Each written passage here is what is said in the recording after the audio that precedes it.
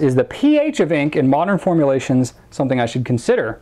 If so, is it more of a concern for archiving documents or the health of your pen? Okay, so technically, yes, pH is something that can affect uh, both archivability and um, the health of your pen.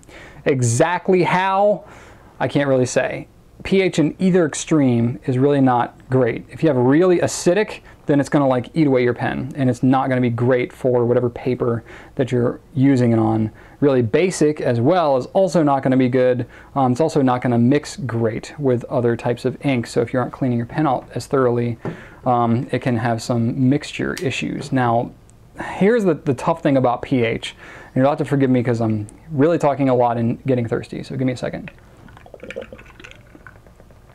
The extremes of the pH is not really ideal, but the most frustrating thing is the fact that basically no manufacturer tells you what the pH is for any of their inks. So I think it's more of an issue with vintage inks because they used to have inks that were in much more extremes. Um, they now have kind of formulated most modern inks to be just generally a lot friendlier and a lot safer.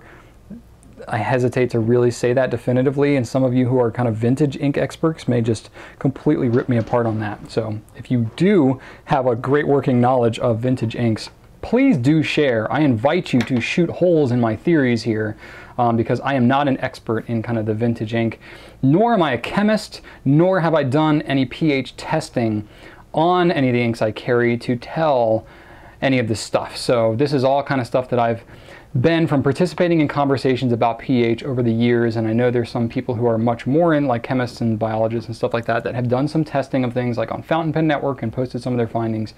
What I can say is that as a retailer and from selling a lot of ink to a lot of individual customers, getting feedback on it, um, I really can't say that there's like any one ink that really is any an extreme and has been kind of an issue or the recurring thing. Um, you know, Noodler's Bay State Blue gets a lot of flack. Um, I don't know that it's just a pH thing. It is a little bit higher pH. I think it's a pH around 8 or 8.5.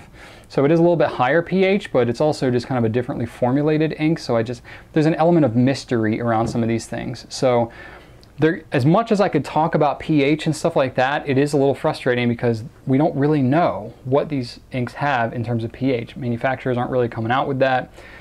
You know, uh, other than Noodlers, which um, in their standard line, you know, it says here like, you know, always pH neutral. So in their Noodlers Black and like a lot of their standard line, he does advertise that it's pH neutral. Aside from that, I can't really name anything any manufacturer that really says anything about their pH. Doesn't necessarily mean that's not true, it just means that it's not something that's openly advertised because I don't think it's something that most people really take into account.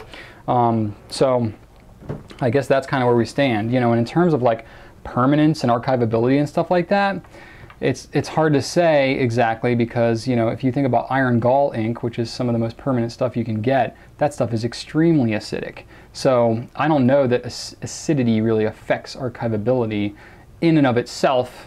You know, I'm starting to get into an area where maybe I'm not quite as much an expert when we get into ink chemistry.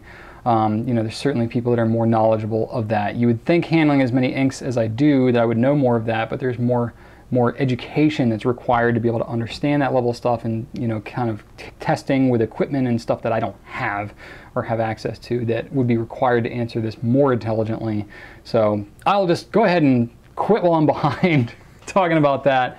Um, so given the fact that you have very limited knowledge, uh, I don't think it's anything to be too greatly concerned about um, just in general because if an ink was really that bad these days, you would know about it and it would probably not be offered.